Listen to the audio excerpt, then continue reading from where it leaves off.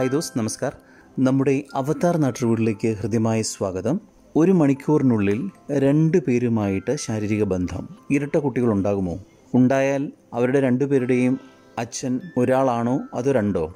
ദോസ്തോ കൂടുതൽ ലൈംഗിക ആരോഗ്യ അറിവുകൾക്കായി ഈ ചാനൽ സബ്സ്ക്രൈബ് ചെയ്യുകയും ഈ അറിവുകൾ കൂടുതൽ ആൾക്കാരിലേക്ക് എത്തിക്കുവാൻ മാക്സിമം ഷെയർ ചെയ്യുകയും വേണമെന്ന് താല്പര്യപ്പെടുകയാണ്. ലൈംഗിക വിദ്യാഭ്യാസം നമ്മുടെ സമൂഹത്തിന് വളരെ ആവശ്യമാണ് അത്യാവശ്യമാണ്. അതിലേക്ക് നയിക്കുന്ന വിവരങ്ങളാണ് വളരെ സഭ്യതയുടെ അതിർവരമ്പുകൾ ലംഘിക്കാതെ നമ്മുടെ ചാനലിലൂടെ പങ്കുവയ്ക്കുന്നത്. ഈ അടുത്ത കാലത്ത് ബ്രസീലിൽ ഒരു സംഭവം ഉണ്ടായി ഒരു യുവതിക്ക് ഇരട്ട കുട്ടികൾ പിറന്നു. പരിശോധിച്ചു നോക്കിയപ്പോൾ രണ്ട് കുട്ടികളുടെയും അച്ഛൻ രണ്ടു പേരാണ്. ബ്രസീലിലെ കാര്യം അവിടെ നിൽക്കട്ടെ. നമ്മുടെ കൊച്ചു കേരളത്തിലും സമാനമായ ഒരു സംഭവം അടുത്ത കാലത്ത് റിപ്പോർട്ട് ചെയ്യുകയുണ്ടായി. ഒരു യുവതിക്ക് രണ്ട് കുട്ടികളുണ്ടായി ഇരട്ട കുട്ടികൾ. അവസാനം പരിശോധനയിലൂടെ തെളിഞ്ഞത് ഈ രണ്ട് കുട്ടികളുടെയും പിതാവ് ഒരാളല്ല എന്നുള്ളതാണ്. എന്താണ് ഇതിലെ സത്യവും മിഥ്യവും? അതിലേക്ക് കടക്കുന്നതിന് മുൻപ് നമുക്ക് പുരാണത്തിലേക്കൊന്ന് പോകാം. ഗ്രീക്ക് ഇതിഹാസങ്ങളിൽ ഇരട്ട കുട്ടികൾക്ക് രണ്ട് അച്ഛന്മാർ എന്ന പ്രതിഭാസം ഗ്രീക്ക് പുരാണങ്ങളിലുണ്ട്. ലെഡ എന്ന ഗ്രീക്ക് സ്ത്രീ സിയൂസ് ദേവനുമായിട്ടും തന്റെ ഭർത്താവ് ടിൻഡാറിയുമായിട്ട് വേഴ്ചയിൽ ഏർപ്പെടുന്നു. ശേഷം അവർക്ക് ഇരട്ട പെൺകുട്ടികളുണ്ടായി. ഗ്രീക്ക് പുരാണം അനുസരിച്ച് സിയൂസ് ദേവനിൽ നിന്ന് ജനിച്ച മകളാണ് ഹെലൻ. അവരുടെ ഭർത്താവായ ടിൻഡാറിയിൽ ഉണ്ടായ മകളാണ് ക്ലിറ്റം നെസ്ട്ര പിന്നീട് അതേ പുരാണത്തിൽ തന്നെ ഇതേ കഥാപാത്രത്തിന് രണ്ട് അച്ഛന്മാരിൽ നിന്ന് വീണ്ടും ഇരട്ട ആൺമക്കളുണ്ടായി. സിയൂസിൽ നിന്ന് പോളിയുക്സും ഭർത്താവായ ടിൻഡോറിയത്തിന്റെ മകനായി കാസ്റ്ററും ഉണ്ടായി. അതുപോലെ തന്നെ ഗ്രീക്ക് പുരാണങ്ങളിൽ ഷിയോൺ എന്ന മറ്റൊരു കഥാപാത്രം അപ്പോളോ ദേവനും ഹെർമിസ് ദേവനുമായി ഒരേ രാത്രി തന്നെ ശയിച്ചിട്ട് ഇരട്ട ആൺമക്കൾ ഉണ്ടായി എന്നും രേഖപ്പെടുത്തിയിട്ടുണ്ട്. ഹെർമിസിൽ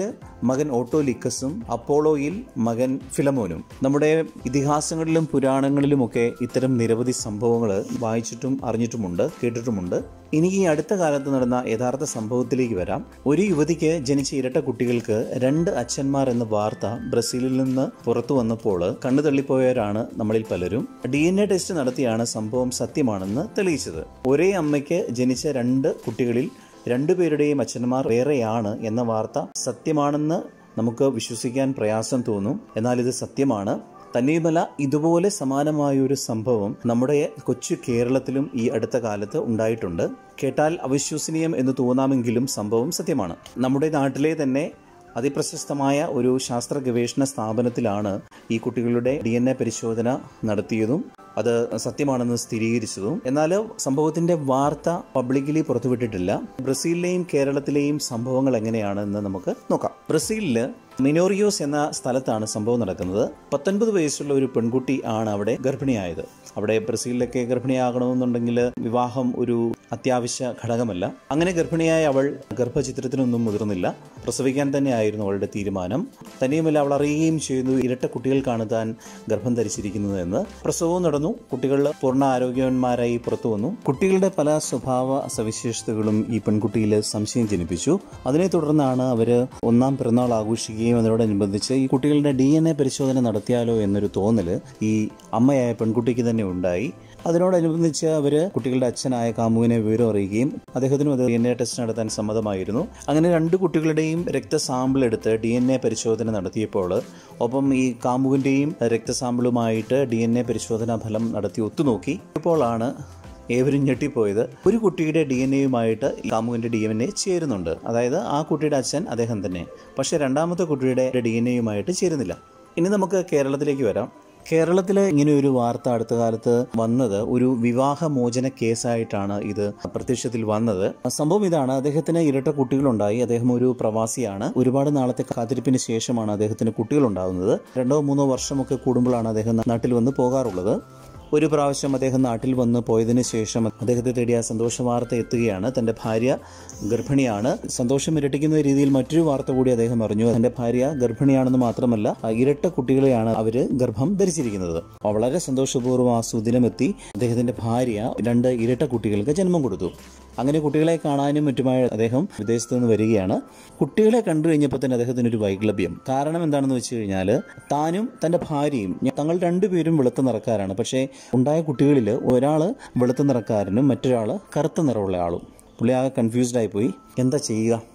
അദ്ദേഹത്തിന്റെ മനസ്സിൽ ആദ്യമായിട്ടൊരു സംശയം നാം വിട്ടു. ഒരു കുട്ടി ഏതായാലും തന്റേത് തന്നെയാണ്. പക്ഷേ ഇനിയുള്ള ഒരു കുട്ടി തന്റേതല്ല എന്നുള്ളൊരു സംശയം അദ്ദേഹത്തിന്റെ ഉള്ളിന്റെ ഉള്ളിൽ ബലപ്പെട്ടു തുടങ്ങി. ഈ സംശയം അദ്ദേഹം ആദ്യം പുറത്തൊന്നും പറഞ്ഞില്ല. പിന്നെ പതുക്കെ അദ്ദേഹം തന്റെ സുഹൃത്തുക്കളോട് പങ്കുവച്ചു. സുഹൃത്തുക്കൾ അദ്ദേഹത്തെ വിരട്ടിയെന്ന് മാത്രമല്ല അദ്ദേഹത്തിനെ നിരുത്സാഹപ്പെടുത്തി. വരും നിനക്ക് വേറെ പണിയൊന്നുമില്ലേ? എന്ന് ചോദിച്ചു. അങ്ങനെയൊന്നും സംഭവിക്കത്തില്ലല്ലോ. അദ്ദേഹത്തെ നിരുത്സാഹപ്പെടുത്തി. പക്ഷേ അദ്ദേഹം അതിലൊന്നും തൃപ്തനായില്ല. അവസാനം അദ്ദേഹം തന്റെ അടുത്ത ബന്ധുക്കളോടും ഈ സംശയം പങ്കുവച്ചു. അവരും അദ്ദേഹത്തെ വളരെയധികം നിരുത്സാഹപ്പെടുത്തുക മാത്രമല്ല അങ്ങനൊരു സാധ്യതയില്ല. എന്റെ കുട്ടികൾ തന്നെയാണ് നീ അനാവശ്യ സംശയങ്ങളുമായിട്ട് വെറുതെ ജീവിതം കുട്ടിച്ചോറാക്കണ്ട എന്നും മറ്റും അദ്ദേഹത്തെ പറഞ്ഞു ബോധ്യപ്പെടുത്താൻ ശ്രമിച്ചു. പക്ഷേ തന്റെ മനസ്സിൽ ഉദിച്ച സംശയം അദ്ദേഹം പൂർണമായിട്ട് വിട്ടുകളയാൻ തോന്നിയില്ല. ഈ ഒരു സംശയവുമായിട്ട് എന്തായാലും ഇനി വിവാഹബന്ധം തുടർന്നു കൊണ്ടുപോകാൻ താല്പര്യപ്പെടുന്നില്ല. അങ്ങനെ അദ്ദേഹം വിവാഹമോചനത്തിന് കോടതിയിൽ കേസ് ഫയൽ ചെയ്തു. വിവാഹമോചന കേസ് കോടതിയിലെത്തി. ഇയാൾക്ക് സംശയരോഗമാണോ മനഃശാസ്ത്രജ്ഞനെ കാണാൻ അയക്കണോ എന്നാണ് കേസ് പരിശോധിച്ച ജഡ്ജിക്ക് ആദ്യം തോന്നിയത്. വട്ട് പറയരുത് എന്ന് പ്രതിഭാഗം വക്കീൽ ആക്ഷേപിക്കുകയും ചെയ്തു. അവസാനം ജഡ്ജി ഒരു തീരുമാനത്തിലെത്തി. എന്നാൽ സംശയം തീർത്തിട്ട് കേസ് തള്ളാമെന്ന് കരുതി ജഡ്ജി ഡി എൻ എ ടെസ്റ്റിന് ഉത്തരവിട്ടു. കേരളത്തിലെ വളരെ പ്രമുഖമായ ഒരു ബയോടെക്നോളജി ശാസ്ത്ര സ്ഥാപനത്തിലേക്കാണ് ഈ സാമ്പിളുകൾ പോയത്. അവിടെ ഇത് വിശദമായി പരിശോധിച്ചു.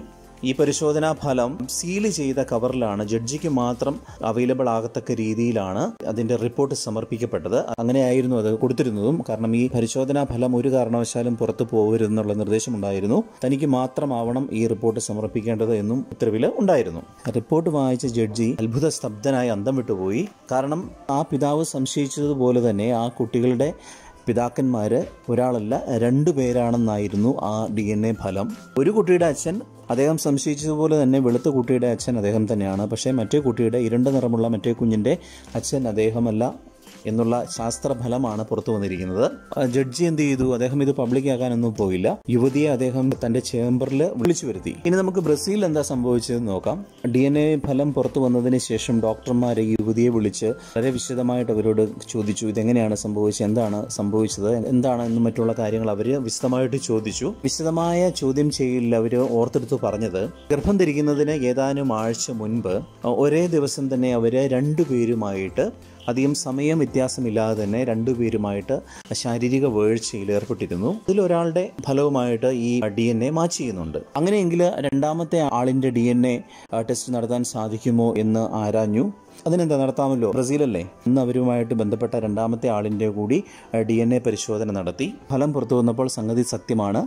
ഈ രണ്ടാമത്തെ കുട്ടിയുടെ അച്ഛൻ ഈ പറഞ്ഞ രണ്ടാമത്തെ വ്യക്തി തന്നെയാണ്. ബ്രസീൽ ആയതുകൊണ്ടും അവിടുത്തെ ജനതയുടെ സംസ്കാരം ഇതൊക്കെ വളരെ പോസിറ്റീവായി കാണും എന്നുള്ളതുകൊണ്ടും ഇന്ന് അവർ സന്തോഷത്തോടെ രണ്ട് കുട്ടികളുമായിട്ട് ആ അമ്മയും ഒപ്പം അവരുടെ നിലവിൽ അവരെ സംരക്ഷിക്കുന്ന കാമുകനും വളരെ സന്തോഷമായിട്ട് അവർ ജീവിച്ചു വരികയാണ് ജീവിക്കുന്നുണ്ട്. ഇനി നമ്മുടെ കേരളത്തിൽ എന്താണ് സംഭവിച്ചതെന്ന് നമുക്ക് നോക്കാം. നമ്മുടെ കേരളത്തിൽ ജഡ്ജി ആകെ കൺഫ്യൂസ്ഡ് ആയിപ്പോയി. അദ്ദേഹം ഇത് ചെയ്തു? അദ്ദേഹം വളരെ ബുദ്ധിപൂർവം ഈ യുവതിയെ അദ്ദേഹത്തിന്റെ ചേംബറിലേക്ക് വിളിച്ചു വരുത്തി. അവരോട് ചോദിച്ചു എന്താണ് യഥാർത്ഥത്തിൽ സംഭവിച്ചത്?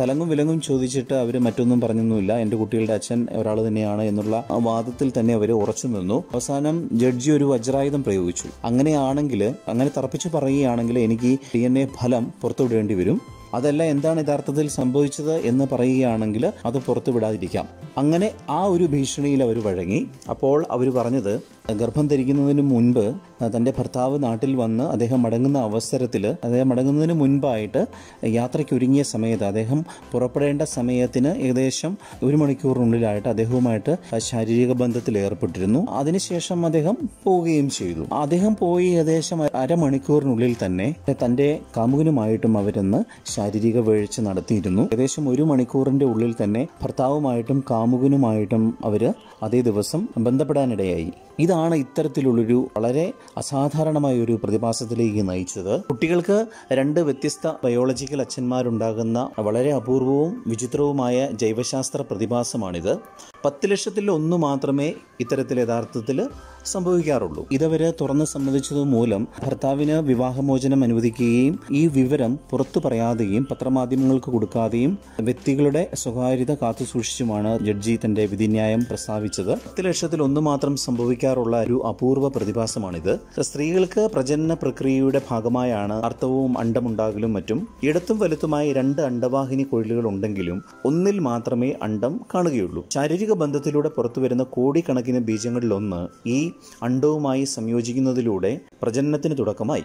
പ്രജനനത്തിന് തുടക്കമായിട്ട് ഭ്രൂണമായി വളർന്ന് കുഞ്ഞായി മാറുകയുമാണ് സാധാരണഗതിയിൽ സംഭവിക്കുന്നത്. വളരെ അപൂർവമായിട്ട് പത്ത് ലക്ഷത്തിൽ ഒന്ന് മാത്രമായിട്ട് ഈ രണ്ട് അണ്ടവാഹിനി കുഴലുകളിലും ഓരോ അണ്ടം വീതം അസാധാരണമായിട്ട് ഉണ്ടാവാറുണ്ട്.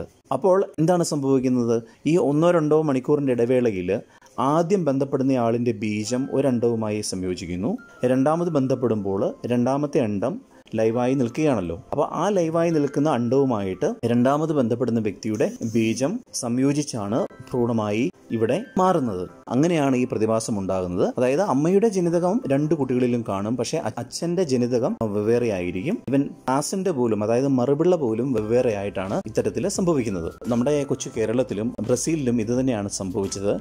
മനുഷ്യരിൽ വളരെ അപൂർവമാണെങ്കിലും നായ്ക്കളിലും പൂച്ചകളിലും പശുക്കളിലും ഒക്കെ വളരെ സാധാരണമായി സംഭവിക്കുന്ന ഒരു പ്രതിഭാസമാണിത്. ലോകത്താകമാനം ഇതുവരെ കേവലം ഇരുപതോളം കേസുകൾ മാത്രമാണ് റിപ്പോർട്ട് ചെയ്യപ്പെട്ടിട്ടുള്ളത്. കേരളത്തിൽ നടന്ന സംഭവത്തിൽ ഹർജിക്കാരനായ ഭർത്താവിന് കോടതി വിവാഹമോചനം നൽകി. അങ്ങനെ കേസ് ക്ലോസ് ചെയ്തു. ശാസ്ത്ര സ്ഥാപനത്തിലെ എത്തിക്സ് കമ്മിറ്റി ഈ ഭാഗം പുറത്തുവിടരുതെന്നും രഹസ്യമായി സൂക്ഷിക്കണമെന്നുമാണ് കോടതി ഉത്തരവ്. എന്തായാലും വളരെ ഇൻട്രസ്റ്റിംഗ് ആയിട്ടുള്ള ഒരു സംഭവമാണ്. മറ്റൊരു വിഷയവുമായി അടുത്തതിൽ. ശുക്രിയ ഫിർമിലെങ്കിൽ ബൈ ബൈ